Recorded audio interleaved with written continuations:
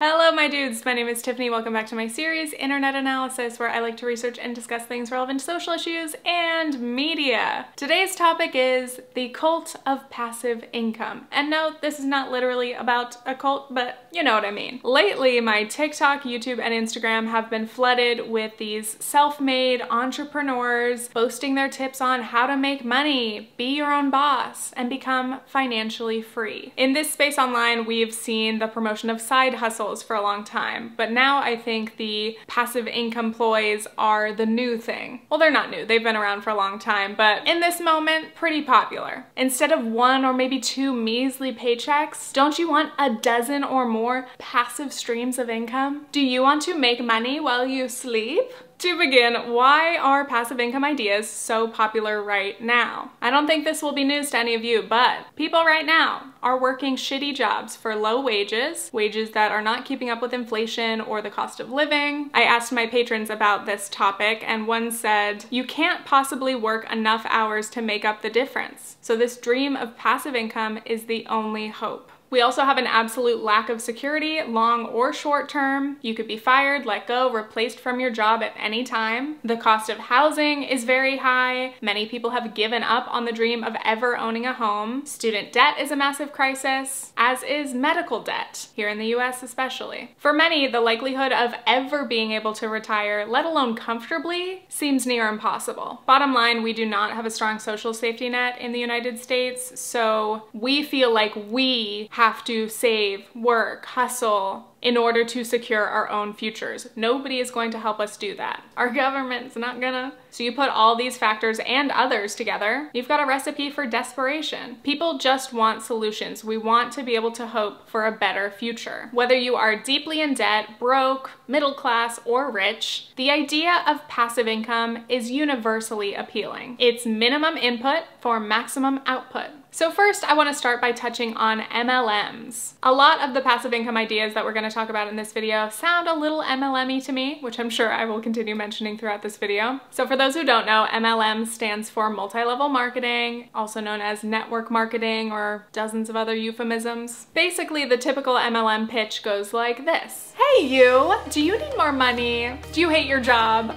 Are you unemployed? You can join this company, be your own boss sell these wonderful products that are so good they're not even sold in stores. You have to buy them through network marketers like me. And also you can recruit people below you to be on your team. So they'll sell more things, recruit more people, and put more money in your pocket. MLMs are promoted as a low effort, easy way to make unlimited money. You can work from your couch or on the beach. I've made like $20,000 this month just by using Instagram and messaging some of my friends. I swear it's true. I love that one minute they're telling you this job is effortless, it's so easy. And the next they're ranting about how hard they work. It's not easy. Not everyone can do this.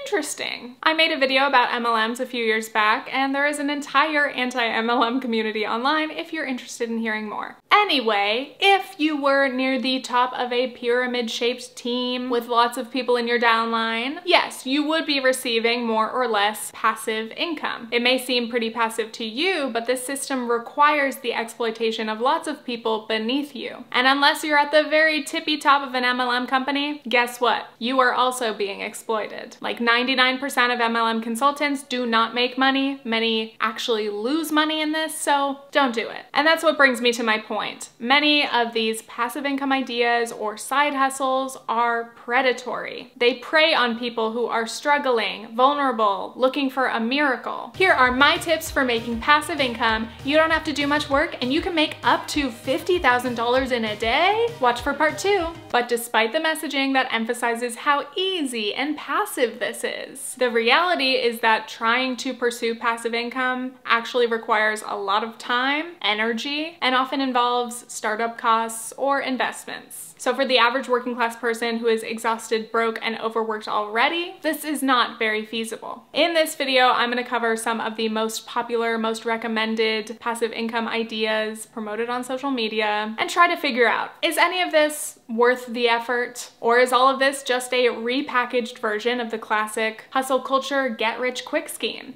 Before we continue, this portion of today's video is sponsored by Skillshare. As you may know, Skillshare is an online learning community with thousands of high quality, valuable classes. Whether you want to learn something practical, maybe improve a skill for work, or something just for fun, there are endless options to choose from. In the spirit of this video, I wanted to pick some classes that are relevant to my non-monetized hobbies. First is Creative Writing for All, a 10-day journaling challenge. I haven't journaled very much in recent years, but it is very important to me. I really love processing my thoughts and feelings through journaling and also documenting all of that for my future self. And my next choice, Plants at Home, uplift your spirit and your space. As many of you can relate, I'm sure, I really find taking care of my plants to be a very relaxing and satisfying activity. I have improved a lot in terms of my knowledge and my ability to care for my plants, but of course there's always more to learn, and I would like to get ahead of any potential problems I might have before I'm at the point where I need to Google how to fix them. So this is going to be great. On this channel, we love learning, so if there is anything you would like to learn or would like to get inspired about, the first 1,000 of my subscribers to click the link in the description will get a one month free trial of Skillshare so you can start exploring your creativity today. Thank you, Skillshare. Now back into the video. Step one, become a content creator. Almost every passive income video I've seen recommends start a blog, start a YouTube channel, become a content creator. And this makes sense because many of the ideas involve marketing or selling things, which are obviously a lot easier if you have a pre-existing audience. And of course, because we're watching this content on social media, the successful people telling us these ideas are themselves influencers and content creators. They've already done the hard part of getting a following. Now they they can tell you what else to do. I found this video by Ali Abdaal, nine passive income ideas, how I make $27,000 per week. First of all, oh my God, at that amount of money. His channel covers a lot of these topics, how to be productive, how to work efficiently, how to earn extra money. All right, so when I say passive income, I always air quote it because there is really no such thing as passive income. There is no way to make money without doing anything at all. Okay, at least he mentions that first thing. But when I say passive income, what I mean is that it's money that is not directly tied to our time. I appreciate that explanation because I think it is honest and straightforward. Passive income is all about spending an initial amount of time to work on something, then continuously earning revenue revenue from that over time. So let's say you were to write a book. If you write a book, you publish a book, that book is now on bookshelves.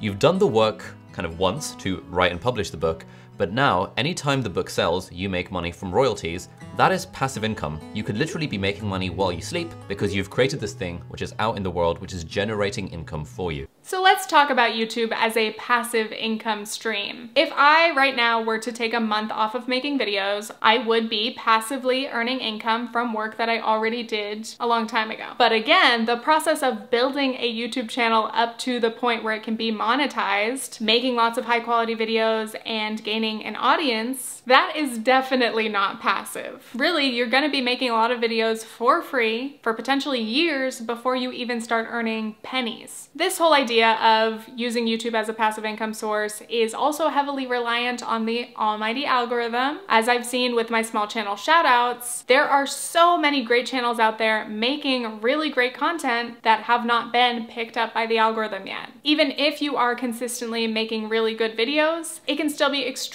difficult to bring in viewers. And I don't say this to discourage anyone from pursuing YouTube, just if you're only looking at this as a way to make money, best of luck. But if it is a hobby, if making videos is something you enjoy, it is worth the effort, and it is possible that you could earn some income from it eventually. Anyway, the next tip that comes along with starting a blog or a YouTube channel is affiliate marketing. Some people claim to earn hundreds or even thousands of dollars per month just through sharing affiliate links. I do think this is a really nice revenue source for creators because often our audiences ask us where certain things are from. If a content creator is influencing a consumer to buy something, I think they do deserve a cut of that sale. And this doesn't just apply to like Instagrammers or YouTubers, anyone who is creating content. But this strategy can definitely go sour. For example, instead of just making good content that you wanna make, that's valuable to the viewers, maybe linking your shirt or the camera you used, some content is created just for the purpose of sharing affiliate links. Have you ever read a blog post that was clearly just a ton of keywords thrown in for SEO and then the promotion of an ad or some affiliate link? Even worse, I found this TikTok for example. Best side hustle if you have no money and no experience. Google affiliate programs for your topic. All these companies pay you a commission to promote their products.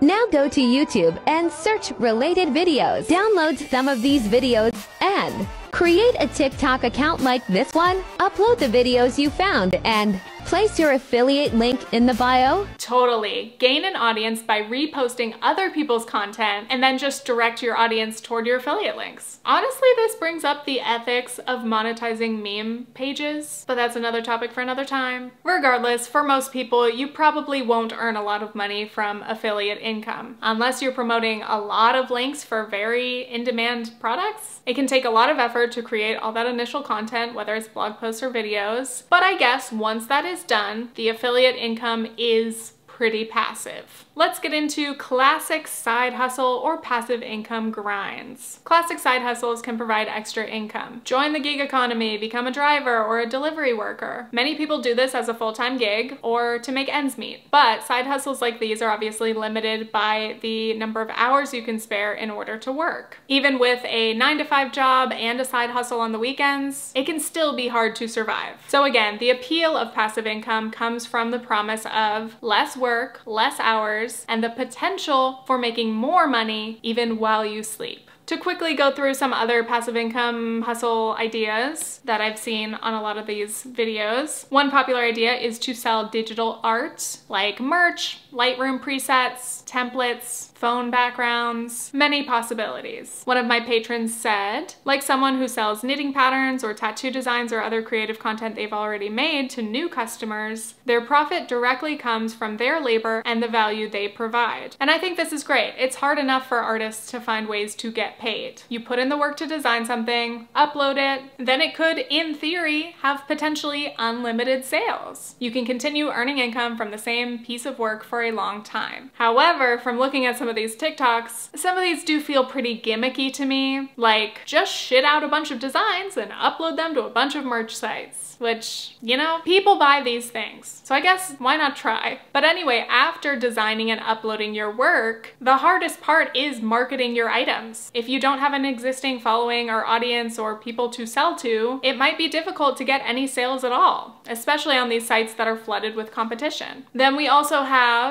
the popular method of drop shipping. Essentially, you buy wholesale products from sites like Alibaba and sell them online without any physical inventory or handling of the products yourself. I did make a video about Twitter ads where I talked a lot about those weird products that are promoted under viral tweets. Yeah, that's drop shipping. Many drop shippers, of course, use social media like Instagram or Facebook to promote their product, but the most popular platform is Amazon, of course. Feels very low effort for a decently high reward. Honestly, I'm gonna say, because I'm reminded of all those drop shipping videos I watched, so much about this makes me mad. The fact that many of these people openly put in the least amount of effort as possible. They steal people's work, they steal people's marketing materials, they just collect all this information from different places. They're never interacting with the product. They use things like undisclosed Twitter ads to promote their products. And worst of all, many of these products, because they're coming from sites like Alibaba, are extremely cheap and low quality. So then people, after like six weeks of waiting, finally receive this stupid item that like either doesn't work or just isn't great. They probably wasted their money and now they have more trash, more waste. If you buy a poor quality product, it's likely to end up in a landfill. And these dudes, mostly dudes, some women, NBs, drop shippers, these people are making bank off of this gleefully. And I, you know, is it perhaps my anti-capitalist spirit that makes me feel like this is wrong? Somebody's gonna be like, you can do whatever you want. Sure, you always can. Continuing on, there is a surplus of investing advice, including crypto, NFTs, forex trading, etc. These have been everywhere, they're in the news because yes, some people have gotten very, very rich off of them, but many, many people have lost a lot of money. And I think often it is low income or poorer people who are targeted with these strategies, especially for any new up and coming crypto coins, just like an MLM. This is your chance to get in on the ground floor. You're early. CoffeeZilla has made some really great videos about these, and especially the influencers who have done some extremely shady shit, including allegedly pump and dump schemes. I am personally not interested in crypto or NFTs. On one hand, it's just too complicated. I do not care to learn. On the other hand, I have learned enough. I have heard from knowledgeable people about how harmful these things are, especially environmentally, like the mining of crypto, the ridiculousness of NFTs. It's just not for me. And again, I'll probably get some smart investor in the comments telling me I'm an idiot and I'm gonna lose my chance at a bunch of money. Oh well. And then when it comes to Forex trading, again, complicated, not interested. But I have seen plenty of MLM type figures promoting this, claiming to teach people how to be Forex traders. As soon as you're asking people to join your team, absolutely not. Then for more passive income investing opportunities, we have micro investing platforms like Robinhood or Webull. And to quote all personal finance content online, this is not financial advice. I personally think individual stock picking is just too risky. I know some people find it fun, but it's also extremely stressful to watch your stocks rise and fall. I personally prefer contributing to my retirement account putting some money in mutual funds. That's it. The thing about individual stock picking is you are probably not going to discover the next Apple. So if people are telling you this stock, you've got to invest, it's gonna blow up, that's just a major risk. If losing that amount of money is going to harm you, don't do it. But if you have money you can't afford to lose, I guess just think about it like gambling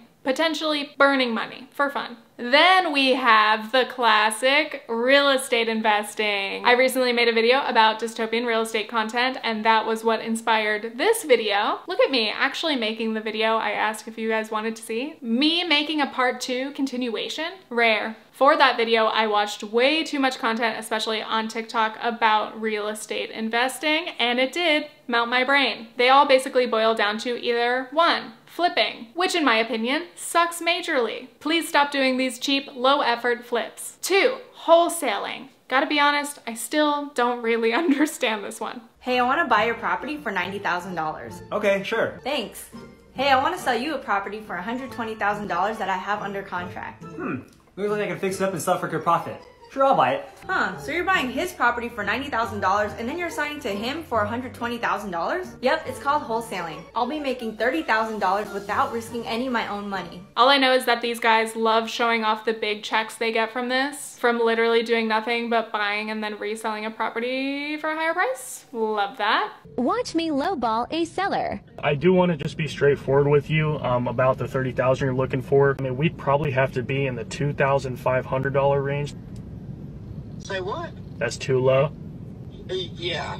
Guys, that house that I'm trying to buy is worth less than 30,000 fully remodeled. You guys think I'm lowballing? That's actually a fair offer. It needs at least 15 to 20,000 in work. I'm offering 2 to 4,500. How am I supposed to make any money if I don't get it at that price? And I'm assigning it to a cash buyer. So where am I really supposed to make any margin? Again, the actual numbers don't matter. This guy is probably buying the property for let's say 2500. He sells it to the cash buyer, they buy it for maybe 10,000. So whatever, this kid is profiting at least thousands, probably at least as much or more than the actual seller just for wholesaling. And then of course, that cash buyer is going to do some cheap renovations, flip, and then sell for their max profit. So everyone in this is making more money than the person originally selling this property. And the whole crux of this wholesaling thing is that they go after run down properties.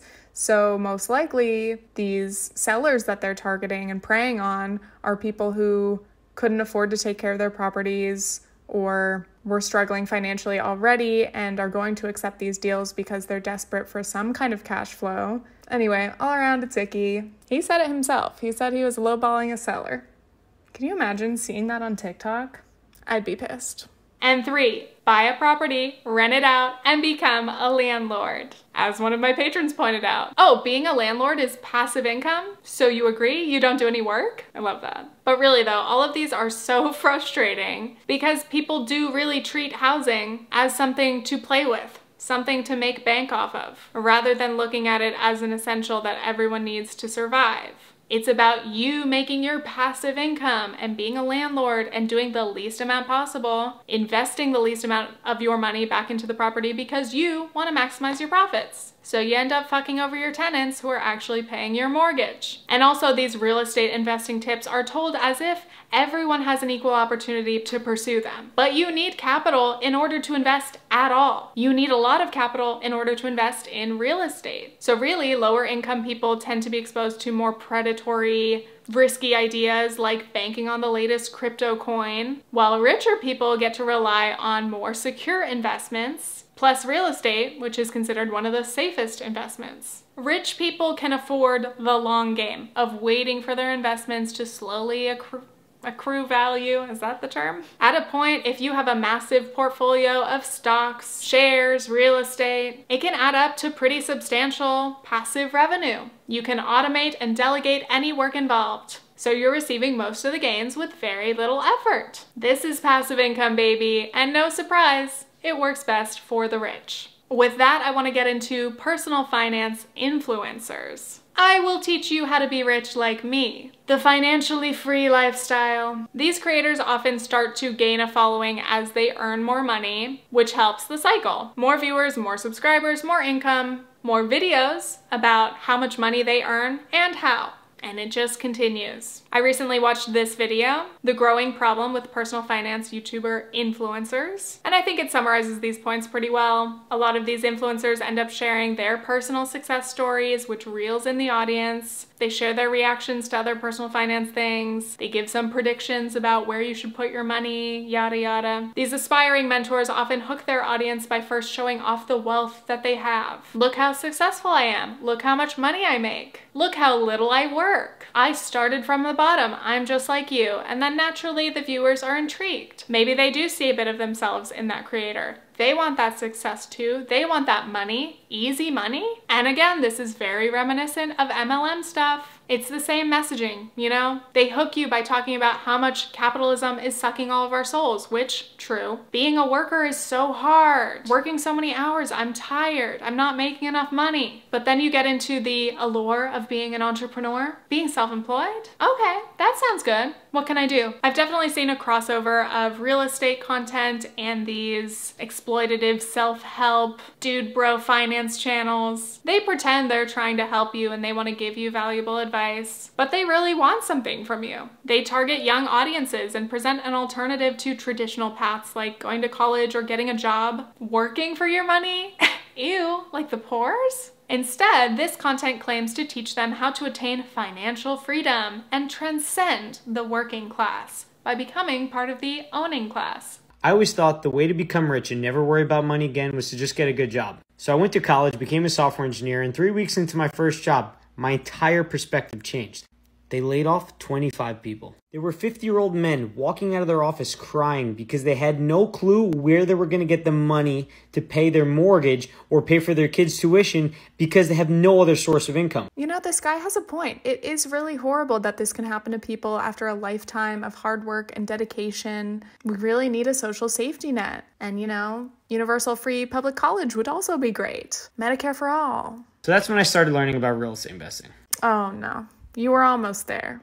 When I watch this kind of content, I ask, what do these creators get out of this? If you are indeed so rich, so successful, why are you spending so much time making TikToks? Do you really want others to follow your tips, do what you did? Do you want that extra competition? And no, of course, they want a social media following because that's valuable. Much of this content is not actually informative. When it's coming from grifters, it doesn't really teach you what you need to know. It's just a teaser for what they're trying to sell you. If you really want to learn, you're gonna have to buy their ebook, join their courses or coaching seminars. It's a tale as old as time. Rich guys telling you, I can tell you how to do it. You can do it if you just follow these quick and easy steps and spend $5,000 on my course. This YouTube uh, comment said it pretty well. Starting to feel like the only way to make money is to make money making videos about how to make money. Amen. Courses and coaching. These seem like the ultimate way to answer the question of how did you do it? While also using your audience to earn a buck or two. Again, to me, this ties back to something we see often in MLMs, the concept of pyramid coaching. I became rich as a coach, so I'll teach you how to become a coach and create your own courses about getting rich. One of my favorite things about this type of content is that it tries to strike the impossible balance between I am exceptional and aspirational, a la Rachel Hollis, but also being relatable. I was just like you. If I could do it, anyone can. Of course, you need your audience to believe they can do it too so that they'll buy your stuff and keep following you. But you've also got to stroke your own ego a bit. I mean, you're so successful. How else would people know? You've got to convince your audience that they need you as a mentor in order for them to become successful.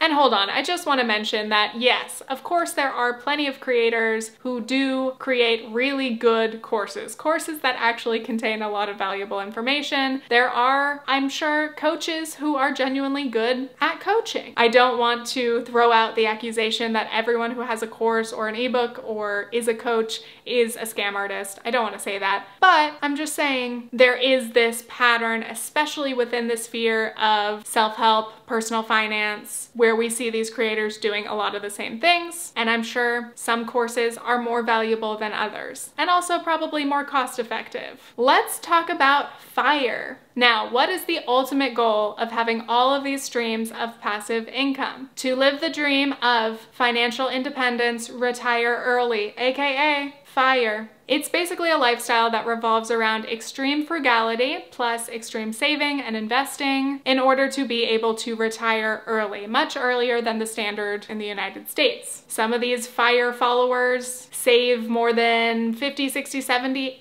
80% of their income annually. Now, hey, I totally understand wanting to free yourself from the shackles of capitalism as soon as possible, or as much as possible. It might feel like if we could just survive off of passive income or very minimal work, then we are free. We can pursue whatever we want. But is FIRE really feasible for most people? The thing is, unless you've made it big and you're already coming from a career where you're a high earner, most people do not make or have the ability to save enough money to have an early retirement. Not to mention to start your own FIRE journey, it's best to be debt-free, have a stable income, and generally be able-bodied and healthy to minimize, you know, emergencies. And that can feel very impossible with the state of our higher education and healthcare systems. One of my patrons noted that their health struggles have taken away many of their most quote-unquote productive working years, and also the cost of healthcare has greatly prevented their ability to save money. These are not all my thoughts on FIRE. I'm sure I could do a whole video on that. But I will say, for those who don't mind living a super frugal life forever, basically, I'm glad that people find comfort and support in the FIRE community. But for many, this concept is not even a possibility.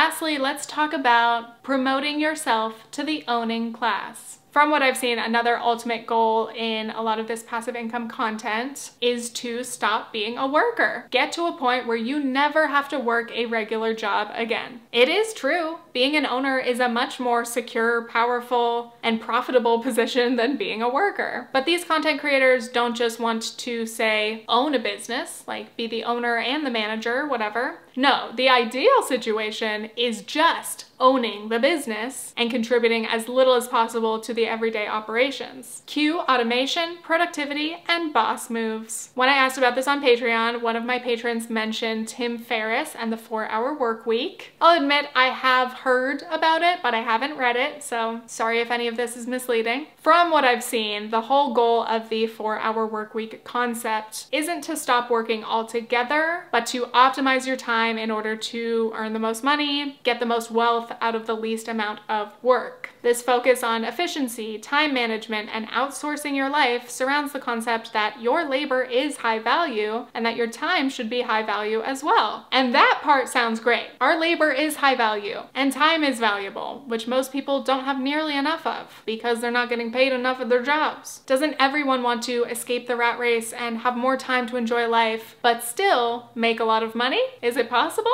As with all idealistic concepts, there are some major red flags, including that point about outsourcing specifically. Ferriss suggests that your time as an entrepreneur is so valuable that you should easily be able to hire someone to weed out the things you don't want to do or worry about. Just hire a virtual assistant, someone who works across the world and earns a much lower wage, to go through all your emails, do industry research, and schedule your calendar. Then take it a step further and get all your groceries delivered and have your resources come to you. You don't have time to do unenjoyable or unprofitable things. Your time is valuable. One question though, does that same principle apply to the gig workers that you're hiring? You would hope that someone taking advantage of this four hour work week thing and hiring gig workers, outsourcing their life, would hopefully be paying those gig workers very fairly and very well. But with an idea so obsessed with efficiency and increasing profits, I doubt it. This passive income realm is very closely tied to productivity, hustle culture, side hustles. Work smarter, not harder. I'm not gonna be a dumb little worker earning nothing. I'm gonna be a boss a girl boss. Anyway, on TikTok, I have seen a couple of interesting examples of becoming your own boss, like a 22 year old who bought a car wash. There's a whole genre of this, like vending machine businesses. I see your fat stacks of cash and I raise you buckets of quarters. They typically act like all you have to do is go collect your sweet, sweet profits. But of course, these businesses do require labor and expenses. But again, it's easy. Just go buy a business, hire people to do the labor, boom, you're making passive income. Go literally collect your coin. Now, if you ask me, how did, say, a 22 year old afford to buy a car wash? Shh, that's not the point. Just, just like hustle and work hard. Believe in yourself. Final thoughts. I don't blame anyone for wanting to pursue passive income. We feel the need for having these backup plans because we don't have that social safety net. If you lose your job, how are you gonna pay your bills? You're gonna lose your health insurance. What are you gonna do then? So this idea to have multiple streams of income is supposed to provide that individual safety net for you and your family, your loved ones. If shit ever hits the fan and one stream of your income ends or slows, you have other ways of bringing in money. That's a comforting thought. Basically, I get the appeal, but I wouldn't recommend listening to these people online who promise you that they can make you rich with three easy steps. Just buy their course on crypto investing. No, no, and now I want to give a thank you to my patrons. If you want to look at some bonus video content, polls, monthly live streams, that's all on Patreon. An extra thank yous to my executive producer tier. We have Uwu Face, Abby Hayden, Jeff, Jaden, Casey Luck, Marty Schmeichel, and VivianOladun.com. Thank you all for being patrons, and thank you for watching this video. Once again, if you're interested in trying out Skillshare, learning something new, click the link in my description. First 1,000 of you will get a free one month trial. Hope you guys enjoyed this one. Stay tuned for future internet analysis videos. Okay, thanks, bye!